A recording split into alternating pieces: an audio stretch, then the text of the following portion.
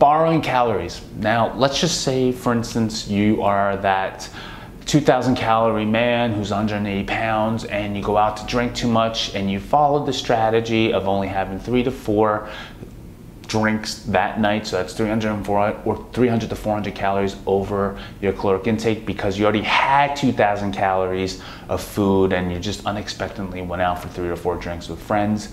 What you can do is you can actually borrow it for the next day. Think of the calories and the flexible dieting as having a credit card. You can go over, but then you can make up for it by spending a little bit less the next month or the next days to get back to even and to pay it off. Now, the thing is, if you keep doing this, borrowing the calories over and over, and you never return it, you will gain body fat.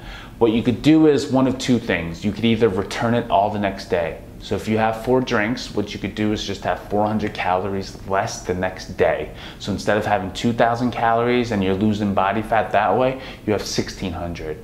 Or you could just keep borrowing 100 every day for four days until you actually hit 400 calories. So it could be 1900 the following day, 1900, then 1900, then 1900, and then go back to 2000. That's a little bit more mild, but it really is about, about a week that you'll start to see a difference if you keep eating calories too much and you're not going to gain fat the next day is really what the whole point of this is. If you go 500 or 1000 calories over the next day, you're not going to gain fat that quickly.